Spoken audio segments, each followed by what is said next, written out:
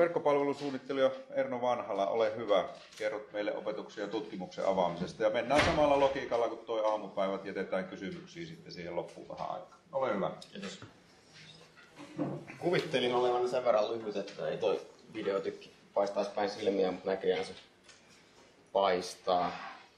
Joo, tosta löytyy meikän tietoja. Mua saa kiinni kyllä vähän formaatista kuin formaatista, kaiken näköistä sosiaalista mediaa löytyy. Ja Tampereelta tulen, mutta ei mua sen takia tänne kututtu, että mä oon Tampereelta tai edes Tampereen yliopistosta pääsääntöisesti. Mä oon opettanut Lappeenrannan teknillisellä yliopistolla vasta vuosi sitten. Vaihoin Tampereelle ihan noin niin tietohallinnon töihin, mutta Lappeenrannassa tein kahdeksan vuotta opetusta ja väitöskirjani väittelin vuosi sitten. Mä oon aina opetuksessani ollut avoin, tarjonnut kaiken avoimesti tai niin avoimesti kuin on vaan osannut opiskelijoille saatavilla ja on valtaisa avoimuuden puolesta puhuja. Käytän Linuxia ja kaikki opetusjutut on tehty Linux-luokissa ja niin päin pois. Että sen takia tämä Presi-esityskin on tälleen suljetussa formaatissa täällä online. Vähän ristiriitaa siihen, mutta periaatteessa yritän mahdollisimman avoimesti toimia myös sitten tutkimuksen puolella. Tuossa äsken, äsken edellinen esitys oli Flipped Classroomista, siitä tässä nyt itsekin muutaman sanan, tai sivuan sitä. Kasurisen Jussi on näitä aikoinaan myös hyvin paljon ideoinut ja hänen esitys, esitystensä pohjalta on myös tätä omaa esitystä jatkanut, mutta hän tietysti kertoo enemmän musta kuin Jussista. Ja mistä mä ajattelin nyt puhua, niin tällaisesta netissä törmäämästäni lausahduksesta. Eli koska on netti ja striimit ja videointimahdollisuus, koska ei ole maanviljelijöitä sotia edeltävässä Suomessa, niin miksi mun pitäisi toimia biologisena nauhurina? Eli sitähän se sellainen suomalainen yliopistoluennointi voi huonoimmassa tapauksessa olla, että opiskelijat tulee vuodesta toiseen, ei sitä yhtään kysymystä, se sama kaveri jauhaa sen saman tarinan joka vuosi siellä, toimii biologisena nauhurina. No sitähän me ei nyt haluta, Eli sitä voisi sitä yliopisto-opetusta avata vähän. Opetus koostuu monesta asiasta. Tämä on tietysti tällainen mun näkökulma, että mä teknillisestä yliopistosta tullut, niin meillä on ollut luentoja, tenttejä, harjoituksia, kurssikirjoja, harjoitustöitä. Joku filosofian opiskelu on tietysti hieman erilaista, että siellä ei välttämättä tehdä niin ohjelmoiden tietokoneilla harjoitustyötä. Mutta eiköhän tämä nyt sinnekin jokseenkin ole verrattavissa pari keissiä, eli mä muokkasin 2014 oli-ohjelmoinnin kurssin Lutilla. Kurssi uusittiin siis ihan kokonaisuudessaan, vaihdettiin ohjelmointikieli. Se C++ Javaa ja harjoitustyöhön otettiin mukaan avointa dataa, mitä löytyy maailmalta. Vaihoin myös Flipped Classroomiin sen kurssin, eli käytännössä kaikki meni uusiksi. Ja filosofia muutettiin myös entistä avoimemmaksi Mm. Tuosta voitaisiin. Eli tota, kirjoitettiin kaksi opasta siihen kurssille. Sellaisia, mitä niissä nyt olisi ollut 50 sivua per opas. Google Driveissa tarjolla. Opiskelijat pääsivät kommentoimaan niitä oppaita. Kaikki teoriakalvot suorana linkkinä Google Driveen. Opetusvideot YouTubessa, eli käänteinen luokkahuone oli käytössä, joten siis opiskelijat katsoivat ne videot etukäteen ja tuli sitten sinne kontaktiopetukseen eli harjoitustilaisuuteen niin kuin koodaamaan sen, minkä, minkä sitä apua mahdollisesti tarvi. Kaikkihan ei tietysti tarvinnut, koska opiskelijat on niin, niin heterogeeninen joukko, että toiselle se kurssi voi olla yhden illan juttu ja toiset voi käyttää siihen toista sataa tuntia. Ja tosiaan harjoitustyössä otettiin myös käyttöön avointa dataa, mitä nyt Suomestakin jo löytyy jonkun verran. Se, että se materiaali oli online ja on edelleen, niin se tietysti tarjoaa opiskelijoille sellaisen mahdollisuuden, että ne voi reagoida siellä oleviin virheisiin ja esittää kommenttia, että tuosta voisi jotain korjata. Näitä ei hirveästi tullut, mutta kuitenkin jokunen, jokunen virhe saatiin nujerrettua sitä kautta. Samoin opetusvideot YouTubesta tarjosin niitä jo ennen, ennen tota 2014, mulla oli 2013 jo aiemman kurssin luennot, sellaiset puolitoista tuntiset luentovideot YouTubessa. Tälle kurssille 2014 tuli huomattavasti lyhyempiä opi- o- opetuskokonaisuuksia, sellaisia noin vartin 20 minuutin videoita. Se, että ne on YouTubessa, niin opiskelijahan voi silloin tota, katsoa niitä heti, kun se herää aamulla tosiaan se puhelin kourassa ja alkaa katsoa sitä videota, jos, jos tota, tykkää. Ää, voi katsoa niitä videoita samalla, kun tekee niin kuin itse likaa käsiään siinä koodin parissa, kertaa tenttiin, itse opiskelee tai käy lenkillä. Se on jännä, että jo aiemmin opiskelijat pyyti, että luennot saisi suoraan niin kuin MP3-linkkinä, jotta he voivat laittaa napit korville ja lähteä lenkille kuuntelemaan sitä. Vähän itselle ollut niin yllättävää, en voisi itse kuvitella, että näin teen, mutta tota, jotkut opiskelijat näin on halunnut ja on sitten MP3 tarjonnut. Nyt ne videot siis tosiaan löytyy YouTubesta. Sitten oli just toinen kurssi, VVV-sovellukset, jonka viime syksynä uusin, eli vähän samanlainen mentaliteetti, eli sekin ohjelmointikurssi, vaihdettiin harjoitustyö, otettiin käyttöön Flipped Classroom ja muutettiin filosofiaa entistä avoimemmaksi. Tällä kurssilla otettiin käyttöön myös valmista ää, materiaalia muiden tekemään, eli Code Academyn lyhyitä ohjelmointikursseja, niiltä saatiin perehdytys siihen niin kuin, tiettyihin asioihin, eli opiskelijat kävi, kävi 4-5 neljä-viisi pientä kurssia niin viikoittain. Ja sai siinä niin sellaisen perusosaamisen tiettyä asiaa, johonkin ohjelmointikieleen, johonkin tekniikkaan. Sitten sitä pystyi sitten niin lähteä itse viikoittaisissa harjoituksissa ää, soveltamaan, jatkamaan. Eli ei tarvinnut, niin mun ei tarvinnut tehdä sellaista ihan perusmateriaalia, vaan se oli jo olemassa, minkä opiskelijat sitten pystyi käymään läpi.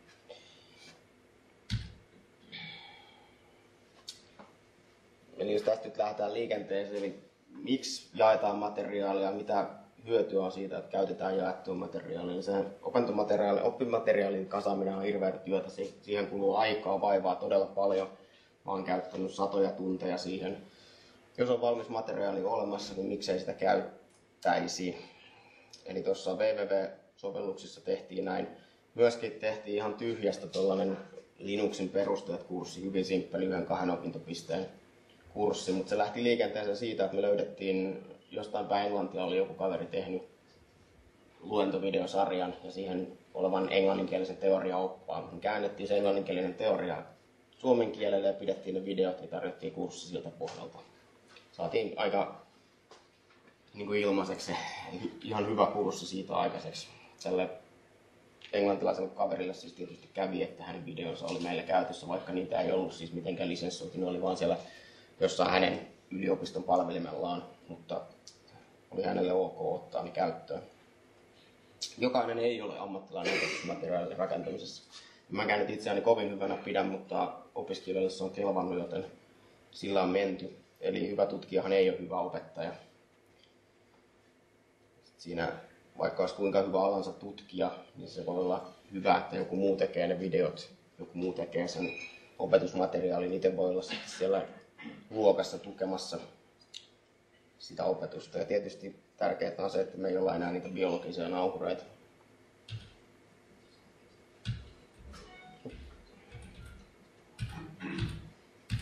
Feilaa aika hyvin tämä meidän esitys, kun haluat tulee väärin täältä. Eli tämä on se suurin ongelma, muutosvastarinta. Siihen on törmännyt itsekin vaikka kuinka paljon. Saako niinku resursseja lähteä sitä parantamaan, sitä omaa opetusta, omaa kurssia. Eli siis jos joku asia on toiminut aina, niin miksi sitä lähdettäisiin muuttamaan? Siinä on olemassa siihen kurssiin kirja, jota sehän riittää. Tai sitten, että ei ole aikaa tehdä mitään. Sehän on opettajan, yliopisto-opettajan ongelma aina, koska pääsääntöisesti sitä niin kuin esimies käskee, että tee tutkimusta, että mikä muu nyt aikaa saa käyttää. Sitten taas koetaan, että se oma materiaali ei ole tarpeeksi hyvää. Mutta jos sillä ollaan niin kuin valmiita opettamaan niin kuin opiskelijoita, niin kyllähän se pitäisi olla niin hyvä, että se voidaan jakaa myös jollekin muulle käyttöön. No, sitten taas jotkut ei nyt tällaista avoimuutta koe kovin uskottavana. Mä oon Linux-käyttäjä ollut kahdeksan vuotta. Käytän aina pääsääntöisesti melkein kokonaan avoimia softia YMS. Pyrin avoimeen opetukseen ja avoimeen tieteen tekemiseen. Ei ole mun mielestä ohimenevä ilmiö. Ja sitten tosiaan se ylhäältä päin se viesti voi olla, että tekee ainoastaan sen, mikä on aina ennenkin tehty ja kaikki muut resurssit pitää käyttää siihen tutkimuksen tekemiseen. näytti vähän siltä, että täällä Kuopiossa on sentään saatu käyttää niin enemmän resursseja opetuksen parantamiseen, mikä on erittäin hyvä juttu, koska eihän se Flip Classroomkaan tarkoita sitä, että aikaa voitaisiin käyttää enemmän tutkimukseen, vaan sitä tarvii edelleen käyttää siihen opetukseen jossain määrin jopa enemmän. Tietysti sitten paljon parempaa aikaa. No muita sudenkuoppia tällaisessa opetuksen avaamisessa, opetusmateriaalin avaamisessa on se, että jaetaan muiden tekemään kaupallista materiaalia. Ja huonoimmassa tapauksessa jaetaan sitä vielä omissa nimissä. Eli jossa kun itse on tehnyt aiemmin videoita, mulla joskus oli niillä videoilla vähän sellaista materiaalia, mikä ei ollut muun, sitten me joutui lisäämään sinne kaiken näköisiä hymynaamoja sinne videoihin jälkikäteen, ettei sieltä niin näy niitä materiaaleja, mitä ei pitäisi näkyä, mutta sitten 2014, kun pistin kurssin uusiksi, myös materiaalia on kasattu niin, että siellä ei ole mitään sellaista seassa, mihin ei olisi oikeutta. Sitten tietysti yliopistoissa puhutaan, niin paljon tutkimustulostahan kerätään, kerätään dataa yrityksistä, niin tällaista materiaalia ei välttämättä voi julkaista. Kaikki se tutkimusdatahan ei ole sellaista, että sitä voitaisiin julkaista, mutta vähintäänkin se pitäisi jotenkin anonymisoida. Ja sitten tietysti pelkällä kepillähän ei päästä niinku asiaan, eli ei, ei ketään pidä lähteä pakottamaan. Siellä pitäisi jonkunnäköistä porkkanaa, porkkanaa olla ja saada sellainen ns. henki. Jos sen ihminen itse huomaa, että se opetuksen avaaminen kannattaa, niin silloin on aina parempi kuin että joku pakottaa sen tekemään. Missään tapauksessa kerran avattu materiaali ei ole niin kuin valmista. Mä itse silloin 2014 tein sen materiaalin, pyrin tekemään sen sillä, että mulla oli vähän yli 30 videoa, että sieltä voisi aina ottaa yhden palasen pois ja tehdä sen uudestaan, korvata silleen päivittää sitä materiaalia. Ihan en siinä onnistunut, mutta periaatteessa sellaisella ajatusmallilla, että sitä voi niin jatkokehittää palasissa, niin sehän olisi kaikkein paras, ettei sitä kurssia tarvitsisi koko ajan tehdä uudestaan. Tuollaista niin ohjelmointia kun opettaa, niin se tekniikat päivittyy, päivittyy koko ajan. Varsinkin jos niin web-kehityksestä puhutaan, niin kun mä viime syksynä tein kurssin uusiksi, niin sehän oli jo vanhentunutta silloin jouluna se materiaali, mitä mä olin syyskuussa tehnyt. Ja sitten tietysti jos luulee, että videonetissä korvaa kontaktiopetuksen, niin on aika heikoilla jäljillä, tota, jäillä. Et eihän se pelkkä materiaalin avaaminen ei tarkoita sitä, että opiskelijan oppimistulokset olisi parempia. Sillä edesautetaan sitä, mutta paljon muutakin työtä vaatii.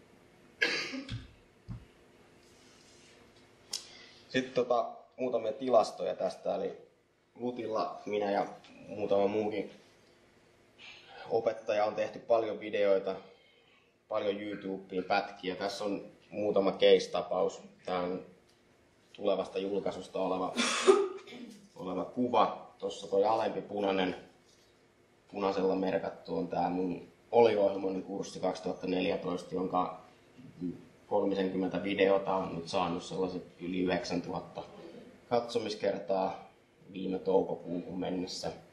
Sitten kollega oli Kansakusen Jussi nimenomaan tehnyt englanninkielisiä videoita toisesta aiheesta, jotka oli sitten saanut jo 40 000 tuota katselukertaa. Mikä on tietysti ihan hieno juttu. Mikä näissä on eri, eritoten hienoa, Resi ei nyt yhteistyökykyinen oikein. Eli mikä näille on yhteistä, on se, että siellä näkyy nimenomaan Lutin logo. Se on tuhansia tunteja ilmasta mainosta. Eli sen, että avaa sitä opetusmateriaalia, niin siitä on hyötyä sille opiskelijalle, mutta se tuo aika hyvää markkinointipotentiaalia myös sille niin kuin yliopistolle. Se, että siellä on yliopiston logo, jota 40 000, 40 000 kertaa näkyy jonkun ihmisen ruudulla, se on aika kallista, jos tällainen markkinointikampanja pitäisi toteuttaa. Ja tietysti jos se materiaali on englanniksi, sitä pystytään niin kuin tätä kautta markkinoimaan ympäri maapallon, niin on se mahdollistaa myös sen, että tulee entistä parempia vaihto-opiskelijoita ja opiskelijat enemmän kiinnostuu tulla Suomeen. Ehdottomasti tuen tätä. Se tosiaan tuossa aikaisemmassa esityksessähän mainittiin sitä, että niitä videoita hostataan jossain täällä yliopiston omalla palvelimella. Mä oon sitäkin tehnyt, mutta sitten myös uploadannut YouTubeen. Meillä ei Lutilla ollut silloin vielä tällaisia palveluita. YouTube oli kätevin. YouTube on tosi hyvä, koska serveritila on, se ei lopu palvelu ei oikeastaan koskaan alhaalla, mutta tietysti eihän se pedagogisesti ole kaikkein paras. Siellähän ei ole opiskelijoilla mahdollisuus kommentoida, tehdä omia muistiinpanoja siihen videoon, mitä taas tietysti toiset järjestelmät mahdollistaa, mutta mä oon sillä avoimuus edellä mennyt, eli se täytyy olla se mun tekevä materiaali kaikille tarjolla, joten valitsin YouTuben. Opetuksen avaaminen yhteenvetona, eli periaatteellisella tasolla se säästää aikaa, rahaa, resursseja. Todellisuudessa ainakin alkuvaiheessahan siihen kuluu huomattavasti enemmän aikaa. Pitää tehdä uudet materiaalit todennäköisesti, jos ollaan oltu sellaisessa vanhassa 90 minuutin luentoformaatissa, niin sitä ei voida yksi yhteen kääntää, kääntää online. Ja pitää muistaa se, että opetuksen saavat, jos se on itse tuotettu, että toisen materiaalia ei saa pääsääntöisesti avata ainakaan ilman lupaa. Ja se, että se avataan niin kuin muuallekin kuin sinne yliopiston opiskelijoille, tai ylipäätänsä kaikkien yliopiston opiskelijoille, eli akatemian ulkopuolella, niin sehän lisää yhdenvertaisuutta ja vähentää tällaista luokkahierarkiaa.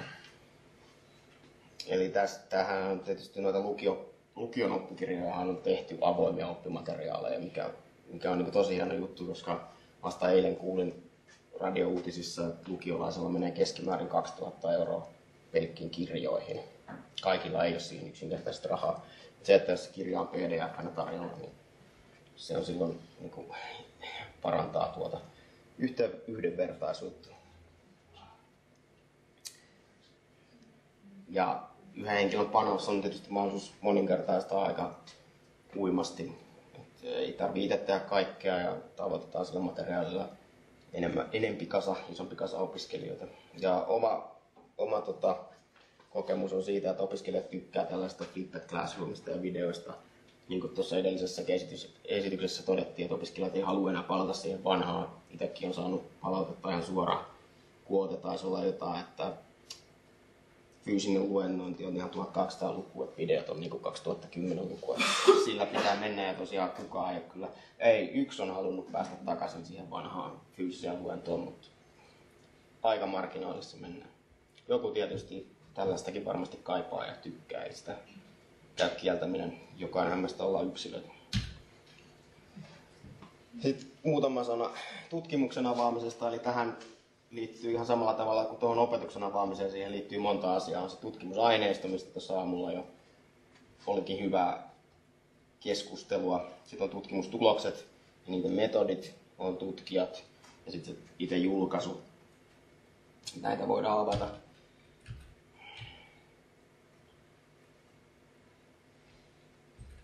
Joo.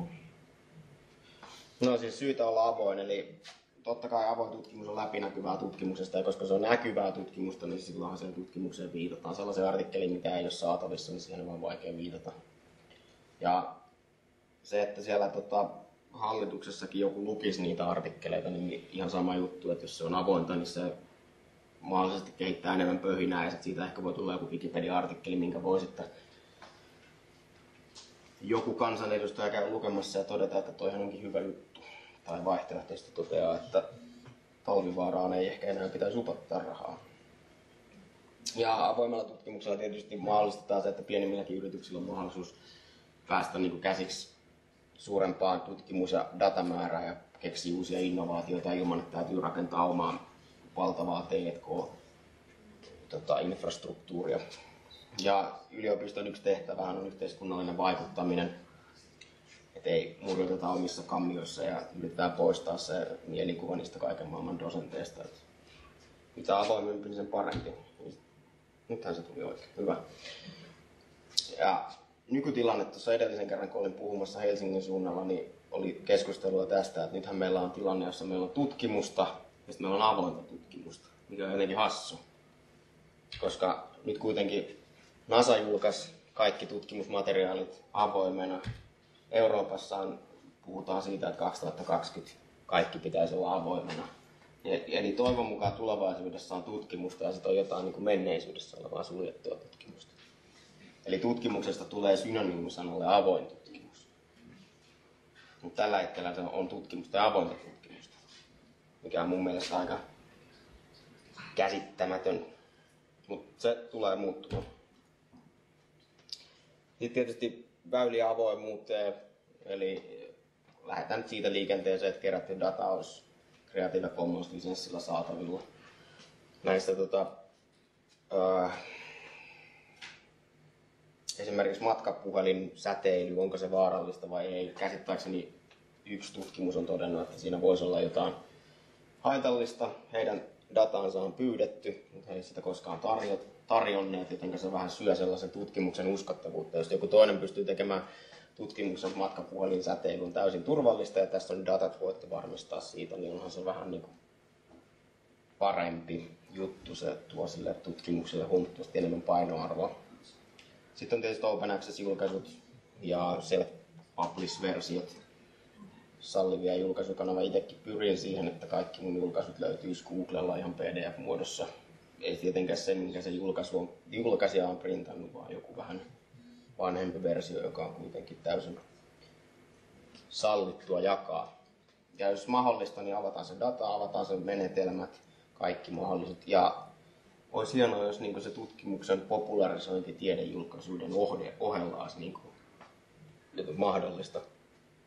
Ei sitä varmaan tutkijoilla hirveästi rahaa ostaa niin Hesarin etusivua omalle tutkimukselle, mutta omasta väitöskirjasta kirjoittelin artikkelin Scrollilehteen, eli avasin, popularisoin täysin sen mun väitöskirjan pelien liiketoim- tietokonepelien liiketoimintamalleista. Scrollin lukijakunta nyt ei hirveän laajaa, mutta se oli kuitenkin niin askel sinne päin, että se tutkimus ei jää vaan sinne ää, tieteentekijöiden siiloon, vaan sitä tuodaan niin kaiken kansan, kansan tarjolla ja vähän sellaisella ei-akateemisella kielellä.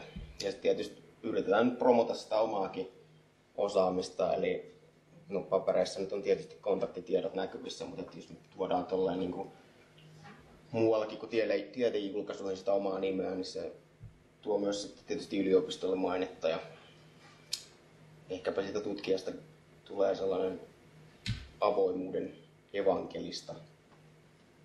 Eli pointtihan tässä on se, että avattu tutkimus on näkyvää tutkimusta ja näkyvä tutkimus on yhtä kuin viittauksia ja se on tietysti kaikin puolin positiivinen asia yliopistolle. Mitä enemmän julkaisulla on viittauksia, niin sen parempi. Sitten vielä muutaman sanan tuossa voisin sanoa tuosta nykyisestä työpaikasta. Eli nyt mä oon Tampereen yliopistolla töissä, en ole missään tutkimus- enkä opetushommissa, vaan nyt kun Tampereelle Tampere kolmosta kehitellään, niin siellä tietysti kaikkia uusia palveluja rakennetaan. Ja näin niin kuin tietohallinnon näkökulmasta niin meillä on aika vahva sellainen avoimuus siellä. Eli mä itse vastaan niin kuin www-palveluista, halutaan avoimet rajapinnat. Halutaan, että tarjotaan uutisia meidän omilla sivuilla, mutta meillä on myös RSS-feedit ja jonkunnäköiset JSON-apit, jonka kautta pystyy vaikka opiskelijat rakentaa omia palveluja, jotka käyttää yliopiston tarjoamaa dataa. Samoin järjestelmät tulee aika monessakin paikassa olemaan avoimen lähdekoodin tuotteita. Tämä myös niin kuin nykyisessä Tampereen yliopistossa monessa paikkaa on huomannut sen, että sitä avoimuutta arvostetaan, vaikka sitä ei pystytä niin kuin tuomaan ihan siihen niin kuin, ää, käytännön.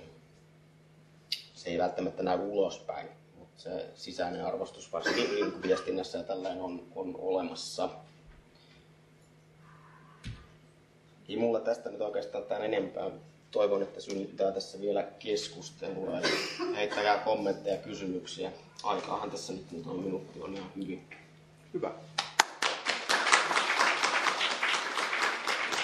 Kiitoksia tosiaan. Ole hyvä Jukka.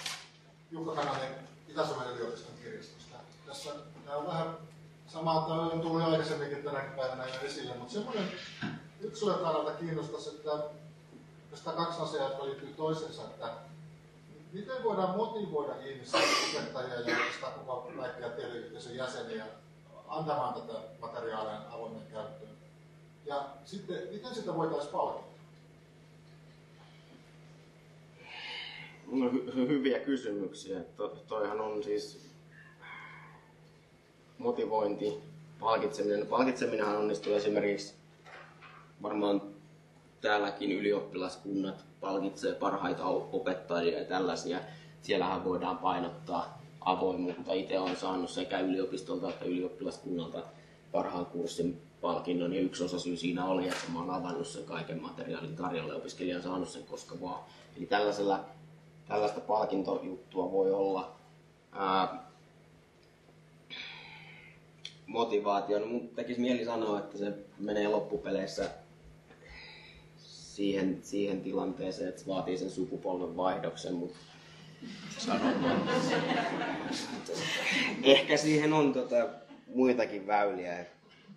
Kun on, omassakin työssä sen nähnyt, että vaikka siitä on niin kuin monta kertaa joidenkin ihmisten kanssa keskustellut, että tämä olisi fiksumpaa tehdä näin, niin mutta kun mä oon tehnyt sen vuosia näin.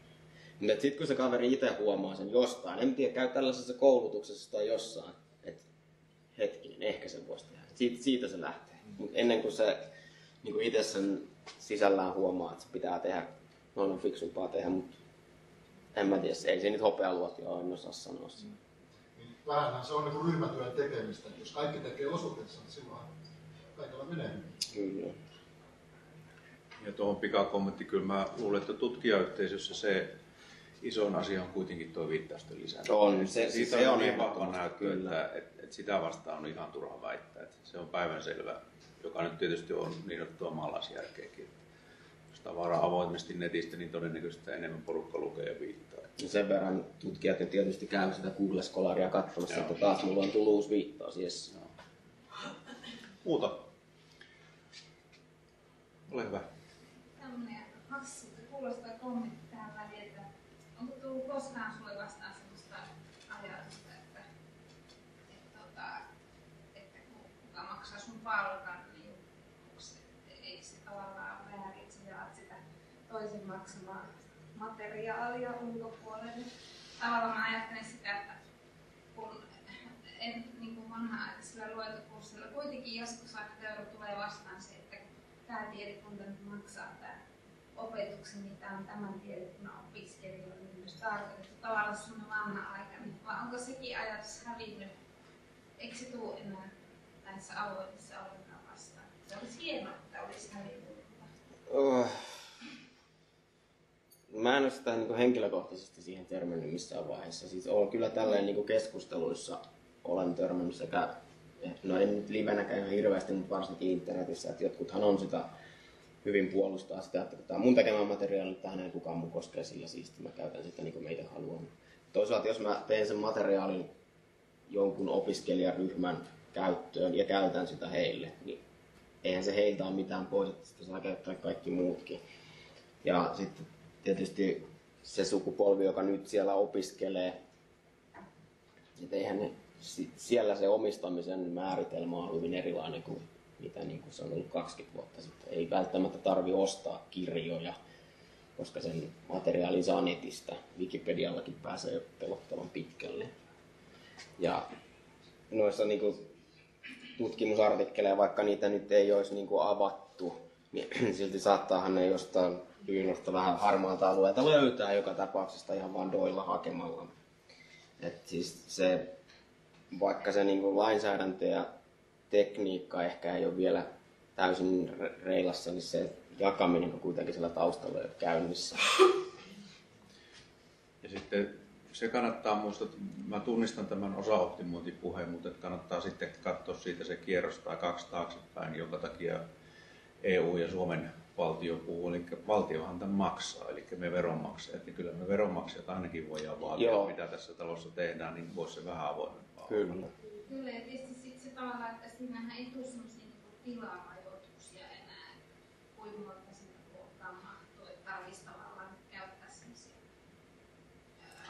että On. on avointa, niin silloinhan se on kaikille avointa. Et se on siis mun mielestä ehdottomasti hyvä, en sen takia tätä kommenttia, Joo. mä mutta ajattelin kysyä, että onko tullut vastaan. Joo, mulla itsellä on, anteeksi kommentti, että nyt mitä tässä viime aikoina on tapahtunut, niin itse asiassa tämä on hyvin vaarallista, jos tiedeyhteisö jää tämän avoimuuden ulkopuolelle. Siis porukkahan viestii tuolla ja kertoo kaikenlaista juttua totena.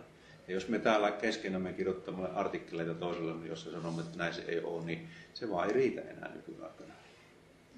Ja pakko sanoa tuohon talvivaaraan ruokapöydässä laskettiin, että se raha, mikä säästettiin säästettiin yliopistolta, niin se laitettiin nyt Sotkamoon liejukoppaan, että näin se menee. No ehkä se ruotsalainen Loka vesibrändi saa siitä jotain. Joo. Mutta, mutta vielä ihan nopeasti se Jarno kommentti siitä, että ei voi olla niin, että on tiedettä ja avointa tiedettä. Erinomainen ajatus. Se ei On. ollut mun ajatus. Ei, joo, se, mä, mä kyllä palautan ton jo antiikin filosofeihin, No. mutta toi on lähtökohta. Siis mä, sori vaan, mä olin ammattikorkeakoulussa töissä joskus 90-luvulla ja nyt amkilaiset älkää suuttuko. Siellä, siellä puhuttiin siitä, että on olemassa tieteellistä tutkimusta ja sitten tätä AMKI-tutkimusta. Ja minunhan piti sitten filosofina kysyä, että mitä se AMKI-tutkimus on, jos se ei ole tieteellistä tutkimusta. Ja mulle tämä on ihan sama asia.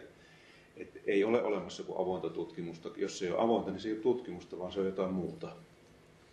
Sulla oli, ole hyvä. Joo, haluaisin että yliopiston kirjastosta.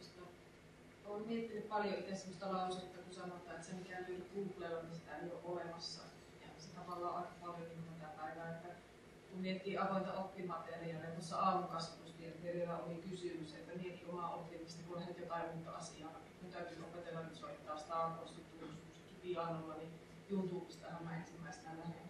Ajattelen perusopiskelija, joka lähtee Googlella hakemaan sille ei ole just sitä opettajaa siinä saatavilla, niin Googlehan varmaan ottaa sen kysymyksen. Niin se, että sinne tarttuu sun oman organisaation niin laatimaan niin se on aikamoinen askel eteenpäin.